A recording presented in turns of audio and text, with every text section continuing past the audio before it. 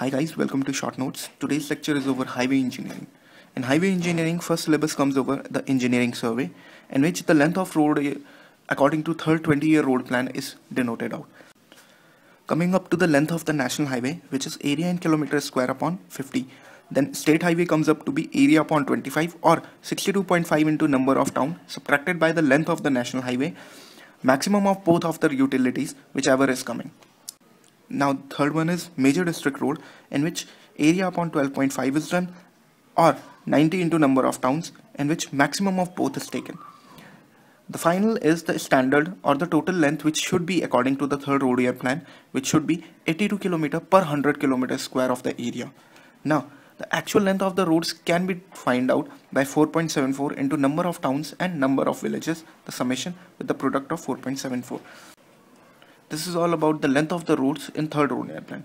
Coming up to the question in which we have to find the utility value of a road.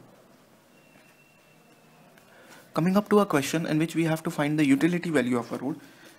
Okay, now for the question of the utility value, I am having three new roads P, Q and R which road P, Q, R is depicted on out length 20, 28, 12 and number of villages having population less than 2000, 2000 to 5000 and more than 5000.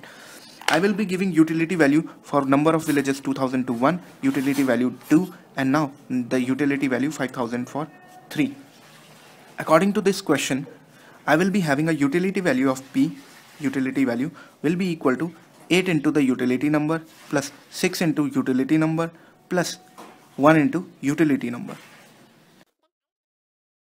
I will be dividing it with the length of the road which is 20. Now coming up to the solution 23 by 20 for same for q it is the utility value is 19 into 1 8 into 2 and 4 into 3 summation of all three divided by the length of the road which will be giving out 46, 47 by 28 then I am having for r that is just equals to 7 into 7 into 1 plus 5 into 2 plus 2 into 3 upon 12 which is just equals to 23 by 12 so here are the utility numbers 23 by 20 47 upon 28 23 by 12 so the highest utility number is of road R which is 23 by